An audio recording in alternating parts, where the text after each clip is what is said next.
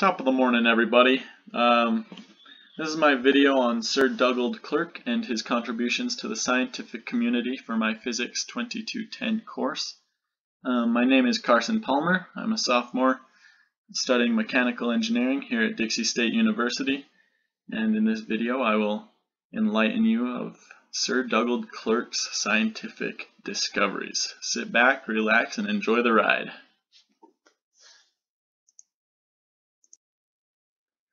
Alright, so a little bit about Mr. Clerk's background. He was born in Scotland in March of 1854. His father was actually a machinist. He was very skilled, and his mother was a stay-at-home mom, um, just like a lot of women were in that time period. Um, growing up, when he was 15 years old, he started his mechanical training by working in his father's machine shop. Um, there is where he gained most of his experience with mechanical drawing and design. And then in 1883, he was 29 years old, and that's when he got married to Margaret Honey, and they lived happily ever after. Um, and then once he was old and gray, he went the way of the world in November of 1938 at the age of 78. He passed away in a small town called Ewhurst in Surrey, England. So on the last slide, I decided to go over the education part in a different slide because it is quite extensive and I felt like it needed its own slide. So um, Sir Dugald Clerk actually had an outstanding academic career. He, from the time he was 15 until he went to school, he received over 15 certificates from the Science and Art Department of London, which is pretty crazy. Some of his certificates are in chemistry, light, heat, magnetism, electricity, mathematics, and machine drawing. These will all be pretty important later in his life. Um, after he did that, he intended on becoming a chemical engineer, so he went to study at Anderson's University and Yorkshire College, which is in the modern day Leeds University. Um, he gained a lot of experience through a type of internship working under one of his college professors that actually went on to be one of the leading government chemists in London. So pretty experienced guy there.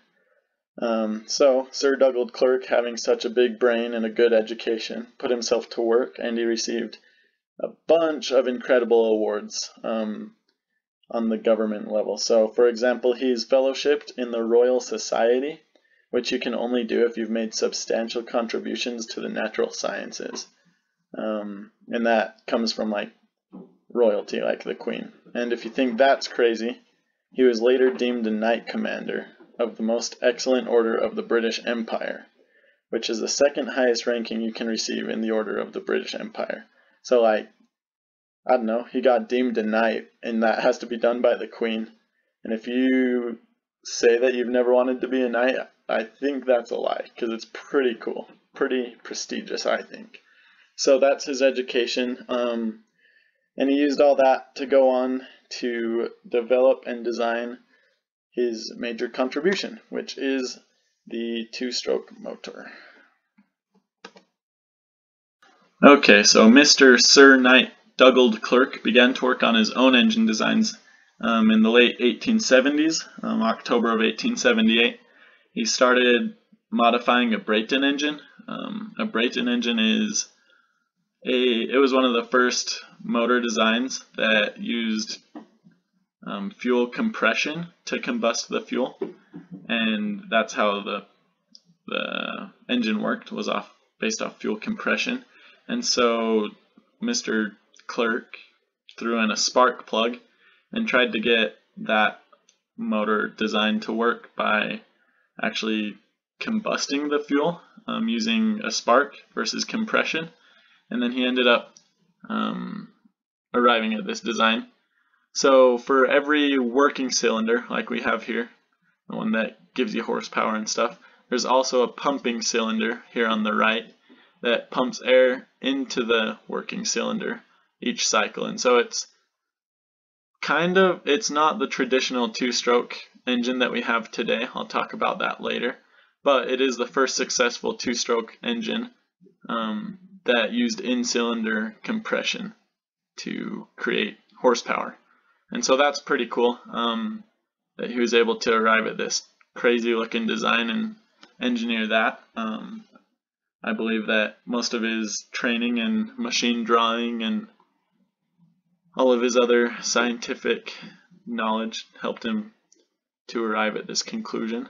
Um, so he patented this design in 1881 and then actually wrote three books about the motor. Um, they basically talked about how the engine worked, um, included detailed descriptions of how and why he chose the design he did, and it's kind of an interesting read. Um, so this is interesting, the pumping cylinder. Some people actually consider it to be one of the first superchargers um, because it pumps air into the cylinder. And while that technically fits the description of a supercharger um, in this book, one of the books that he wrote, he actually says like, no, this isn't a supercharger because it's not designed to compress air and force it into the cylinder. It just helps with the airflow. And so um, some people consider it to be a supercharger, but Sir Dugald Clerk does not. Okay, so anybody that knows a little about motors might recognize that Sir Dugald Clerk's um, design is quite a bit more complicated than the design that we see nowadays in the two-stroke motor. Um, in this design, there's obviously two cylinders required um, for for it to run, and then in the modern day motor we just have one cylinder where we've got the intake goes into the reed valves and then the fuel air mixture enters into the motor and then gets pulled up into the combustion chamber or the cylinder and then gets blown out the exhaust port. Um, so quite a few scientists made, um, they contributed work and refined Dugald Clerk's work or just made better motors. Um, one of these was Joseph Day he actually patented patented the uh, the design of a three-port two-stroke engine in 1889. Um, so ever since then, we've just been getting better and better motors, and then today we enjoy two-stroke motors and things like dirt bikes, um, some wave runners. Um, another example would be snowmobiles. A lot of snowmobiles run two-stroke engines.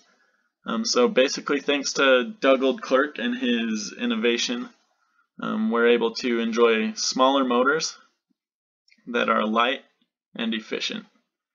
Okay, well that wraps it up. Um, I hope you thoroughly enjoyed my presentation about the two-stroke motor and Sir Dugald Clerk. Um, he's quite the interesting guy.